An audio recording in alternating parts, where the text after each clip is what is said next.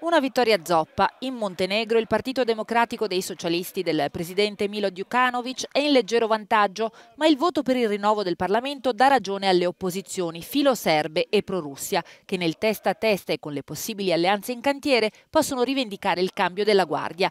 Un duro colpo per l'establishment filo-europeo al governo.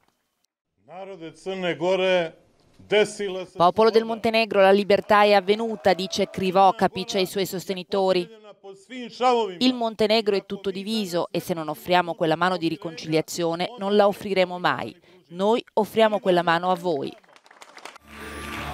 Il margine molto stretto tra le due coalizioni, 33% all'opposizione di Krivokapic e 35% alla maggioranza al governo, apre a coalizioni inedite rispetto al dominio trentennale dei filo europei montenegrini che con Djukanovic invitano ad attendere i risultati finali.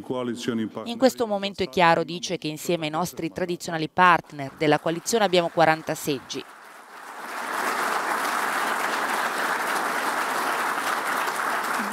La lotta per la maggioranza nel Parlamento montenegrino è ancora in corso.